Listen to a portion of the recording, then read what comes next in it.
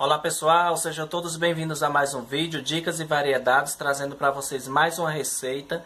E no vídeo de hoje, pessoal, vou trazer para vocês uma super dica de canjica de milho verde. Então rode a vinheta e simbora pro vídeo.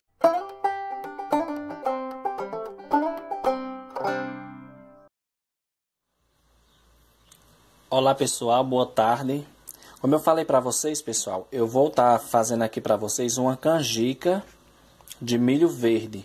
Então, eu vou estar tá aqui é, fazendo passo a passo para vocês verem o que eu vou usar, tá bom? Primeiro, pessoal, vou colocar aqui esse milho verde. Aqui, ó. Eu vou pegar uma colher aqui. E vou estar tá passando, pessoal, o milho, ó, que já tá todo tirado, né? Da espiga, né? Vou estar tá passando aqui pro liquidificador.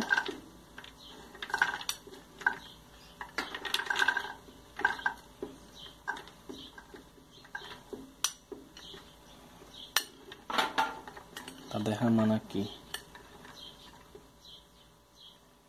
Tem que tirar isso aqui.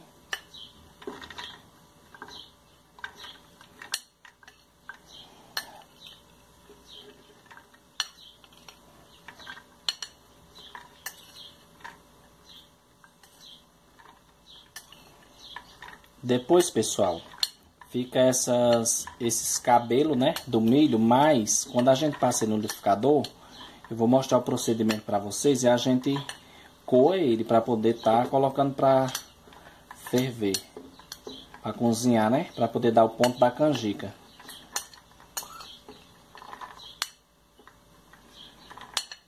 Ó, pessoal, eu usei seis espigas de milho aqui, ó.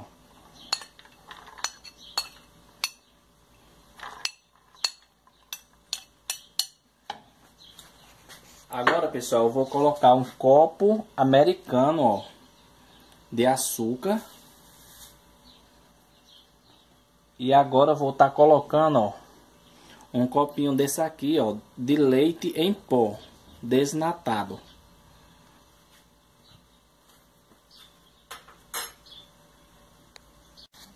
Agora, pessoal, eu vou estar tá colocando água, né, um copo americano de água. Vou colocar mais outro copo americano de água, que é para ficar é, uma quantidade líquida para poder o liquidificador bater. Outro copo americano de água. Agora, pessoal, eu vou bater no liquidificador. Daqui a pouco eu trago para vocês verem.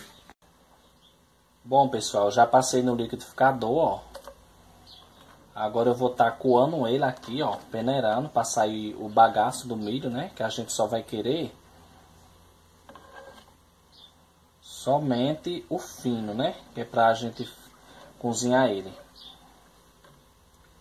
Ó, pessoal, como fica, ó. A gente pode fazer até pamonha, né, ó. Do jeito que tá aqui. Tem gente que gosta, né? Eu prefiro a canjica.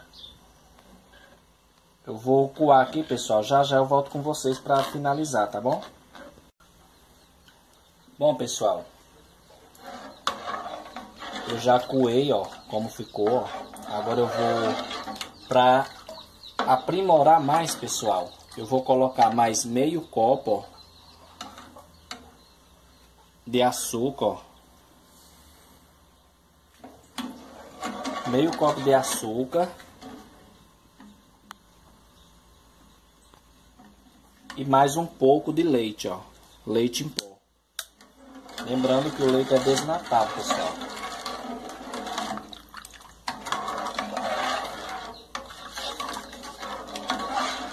Ele vai derreter agora que eu vou ligar o fogo, pessoal, ó. Liguei o fogo. E agora eu vou deixar ele engrossar. Quando engrossar, eu volto aqui para mostrar para vocês como ficou ele finalizado, tá bom? Bom, pessoal, voltando aqui com vocês, pessoal, já finalizei a minha canjica da roça de milho verde. Olha só, pessoal, a textura da canjica, ó. Como ficou uma delícia. Muito bonita a cor. Vocês sabem que ficam sempre amarelinhas, né, ó, pessoal? Como ficou, ó.